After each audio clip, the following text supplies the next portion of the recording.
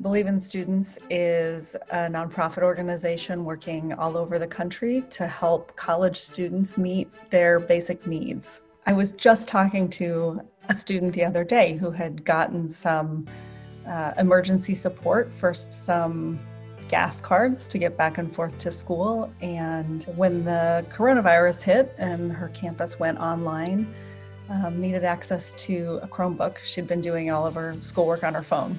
With just that little bit of support at a couple of key moments when she really needed it, uh, she was able to stay in school. She has a 4.0 GPA.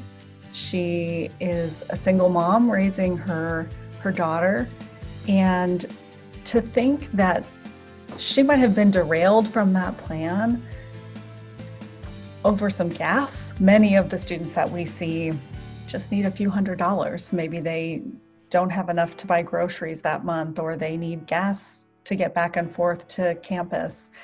And those expenses might be smaller in dollar amount, but they can be a real barrier to someone uh, persisting in college from day to day. We so often see programs that stigmatize students who are in need or that ask students to really prove over and over again that they really do have this problem that needs to be solved.